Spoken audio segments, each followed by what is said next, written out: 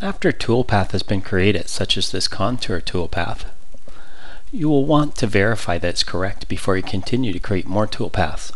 Mastercam has two built-in simulators, the Verify simulator and the Backplot simulator. First, let's take a quick look at the Verify simulator. To launch the simulator, I must make certain that the toolpath I wish to verify is checked. Then I can select the Verify icon to launch the simulator. The Verify simulator shows a nice solid model of the stock which updates while showing the cutting tool cutting the part. The simulator has numerous options. Across the top of the window there are checkboxes which allow you to turn on and off the various features. For example, if I click in the tool selection, the tool display will become see-through and the checkbox will now have a square in it. If I click in this box again, the tool's visibility will be turned off and the checkbox will be empty. If I click in it one more time, the checkmark will return and the tool will be visible as a solid. I can also change the display of the stock in this manner, from solid to see-through to not visible and back to a solid. You may want to turn on or off other features such as the wireframe, the axis, or gnomon to suit your preferences. I like to have the simulator stop if there's a crash of the tool in the workpiece so that I know I have to correct the tool path. To do this, I'll select the down arrow beside Stop Conditions and enable the Stop on Collision option. Next, I'll tell the system what conditions I consider collision by selecting the File tab, then the Options.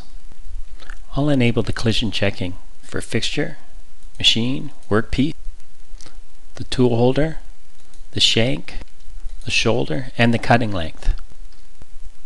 Click OK and answer yes, I would like this saved for all future sessions. And answer yes to save these settings for all future sessions. Then save the file. I'll now select the Verify tab, the drop-down arrow side material to let the system know which parts of the tool can be used to cut the part. Here I'll enable only the flute length. At this point, I'll run the simulation by selecting the play button.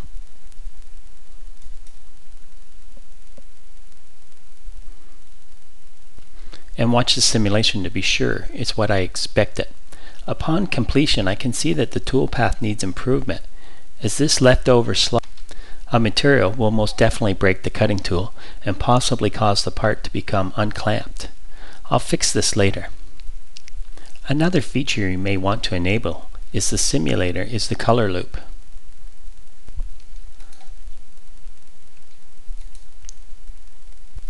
This will assign a separate color to the part where each tool has machined it if I select by tool. Or I can select by operation.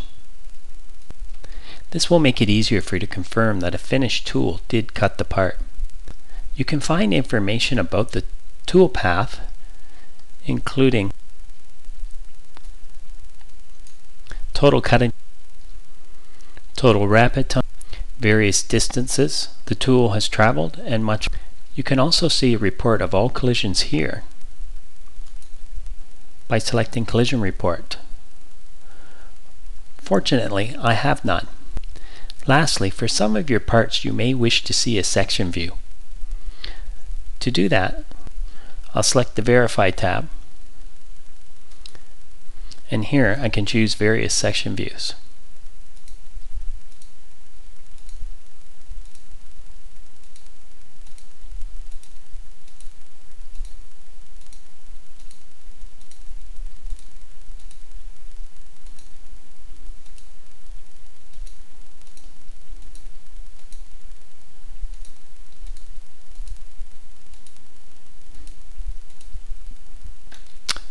I'll close my simulator.